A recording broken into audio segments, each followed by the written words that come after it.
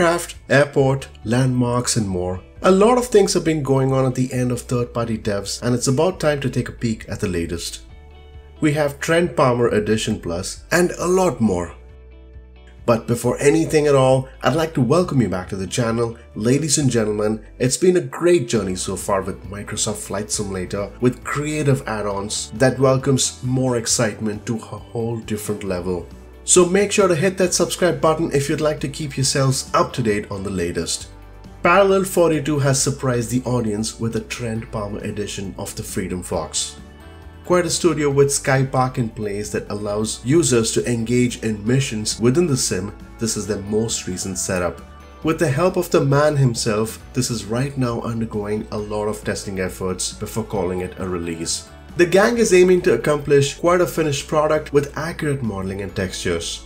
By the look of it, we have a clear picture of what to expect which is to be released soon. The last few days before the studios of Just Flight have decided to go with the extension of the Piper series, the Warrior 2. A popular aircraft amongst the community, the Piper Arrow series have gained quite a bit of attention plus loads of freeware that could further up the experience. Just Flight have been excited to bring this incredibly detailed rendition of the Warrior 2 with complete realistic wear and tear and cockpit configurations. This is a very popular aircraft that's flown all over the world, reflects that global popularity that features liveries from US, Canada, UK, France, Australia and Germany. A four-seater piston engine aircraft equipped with a fixed tricycle landing gear that boasts of a 160 horsepower four-cylinder engine and a fixed pitch propeller, which makes it an ideal aircraft for touring and flight training. This is right now in the final stages of testing that will be released soon. Following the Warrior 2, here comes the AR-1 Ryan ST-A Special, a charming two-seated low-wing aircraft that is beautifully modeled and a joy to experience. Powered by a 150 horsepower Menasco C4S engine, the wings are constructed in a four fabric covered sections with two stub wings and out panels. Now if you like the Wacker, you'll certainly like this one as well, with the classic feel of the 30s, the texture work, flight characteristics, which have been well worked by the team. You would definitely need getting used to the takeoffs and landings, which is quite unique. Sold for almost $20, you can purchase this at Just Flight's website. While we've been talking new planes, the current form of DC-6 can't be more spectacular. The latest update has rolled in as of yesterday, giving it a rather more improvement on top of the current version. PMDG's debut for the simulator has been an exciting one with a truly remarkable feel of the real aircraft that has been well supported with a new flight simulation engine. This has been built right from the ground up, giving it more exposure of further projects in the future at PMDG. Coming towards Aeroplane Heaven, the release of the Cessna 140 has caught the spotlight this week. Released just this morning, the Cessna 140 has been an aircraft with history for sure. It first flew in 1945 that gave so much more to the engineers who've learned a great deal of growth since then.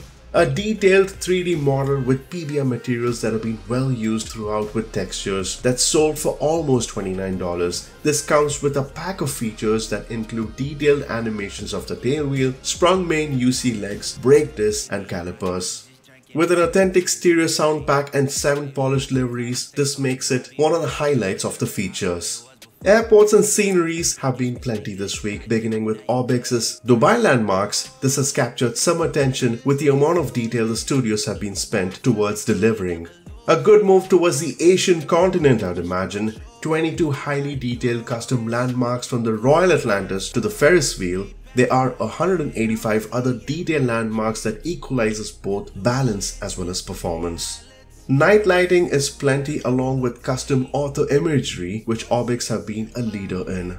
Many improvements towards the city as well as surrounding areas that include buildings, vegetation, static trains, boats. This can add a good feel of the environment moving towards reality.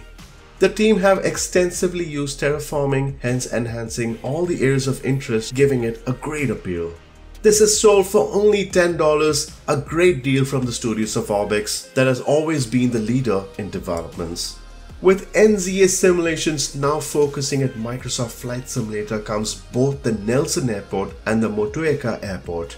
It appears that the studios are more engaged in improving scenery in the region of New Zealand, at least for now. The Nelson Airport looks rather exciting with over 9,000 hand-placed objects, 250 custom assets, 50 unique buildings that makes it a must-fly list. The team have been very excited since the release of the sim, making plans for beautiful projects to come along. The airport boasts of a fully 3D model interior of the terminal buildings, ATC control tower including stores, pretty much all the internal areas of the airport that show the passion towards designing. Plenty of static objects can be found in the scenery along with custom animation. Texturing has been spread throughout the airport, both internally as well as external areas. Ground markings, aerial imagery, and several surrounding landmarks have been a good part of this pack. Runways and apron areas have custom PBRs so as to keep it more realistic as possible. A great set of features that's been sold for $23. Another interesting theme happening from the studios of FSDG, an impressive list of islands to see that has been covered so far at the sim. The latest addition has been towards the islands of Seychelles. A group of islands that reside at the Indian Ocean, quite a paradise with sandy beaches, luxury resorts and a challenging set of airstrips which makes it worth a visit.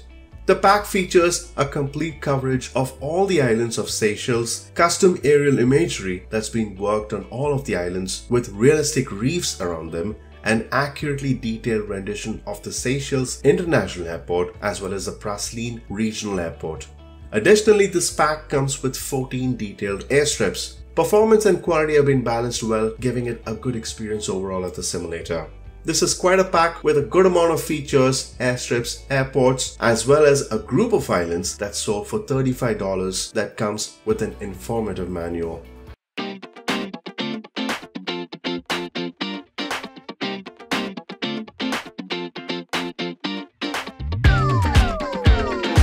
We certainly hope you liked this video. This is just a beginning of a beautiful world of flight simming, especially at Microsoft Flight Simulator. So stay tuned by subscribing and don't forget to hit that like button if you like this video. Until next time, take care and happy flying folks.